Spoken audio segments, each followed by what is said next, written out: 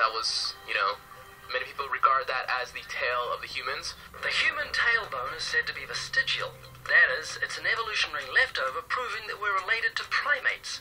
However, it's not a tailbone, it's the coccyx vertebrae. The tailbone derived its name because some people believe it's a leftover part from human evolution, though the notion that the tailbone serves no purpose is wrong. The coccyx is an extremely important source of attachment for tendons, ligaments, and muscles. Evolutionists also claim that the appendix is vestigial, but it's not. The appendix is actually part of the human immune system. According to Scientific American, for years the appendix was credited with very little physiological function.